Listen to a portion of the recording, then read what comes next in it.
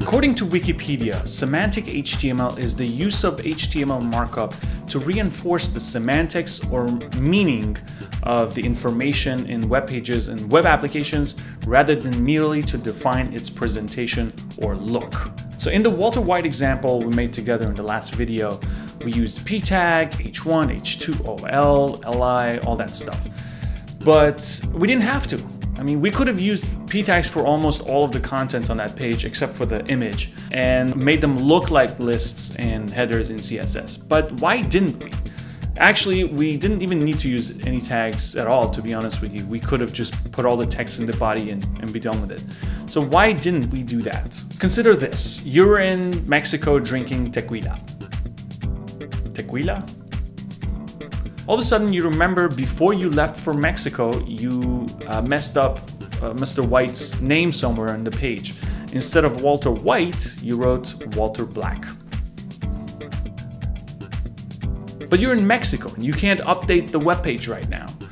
Uh, you don't even have your computer with you. So you call your programmer friend Chad. Hey, Chad. And ask him to go in there and fix it for you. You tell Chad, hey, the error is in the family list header. If your HTML has no structure, if it's just a bunch of p tags, Chad will have to manually look for the mistake, maybe read until uh, he finds the, the, the, word black, or maybe he searches for the word black. What if there are other instances of the word black? You've used that word in, in the page in multiple instances. What if he goes in there and changes it by accident? And, and not the one that you actually meant. You rely on Chad to skim through the page and change the right word. Are you really gonna trust Chad? Now consider this. What if you could tell him, hey, there is a OL, uh, a list of family members, the heading is wrong. Chad will be able to instantly go in there and look for an OL. It's gonna be a lot easier for him to find the problem. Nice job, Chad.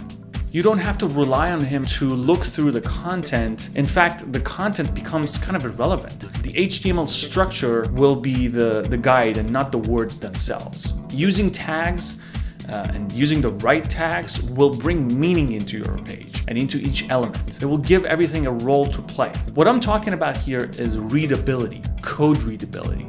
Code is already complicated. It's a new language for you and possibly for other people working on this project with you. We need to simplify it as much as we can. Similar to Chad, search engines like Google also read your code and they try to make sense of it. A header means something to Google. A navigation tag with elements inside it tells Google, hey, this web page has a bunch of uh, other pages that it links to. Here are some of them in the navigation.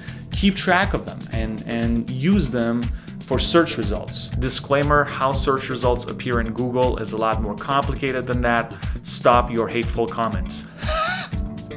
I know, I have to address it.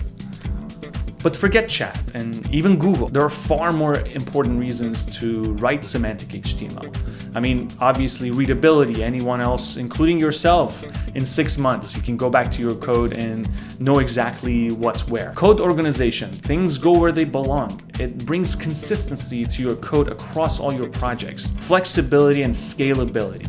When you can read something and find something faster, you can delete and update it faster. Some of this might not make a lot of sense to you because right now you, you probably haven't had to deal with scalability issues before, but trust me, it's important to do this from the beginning.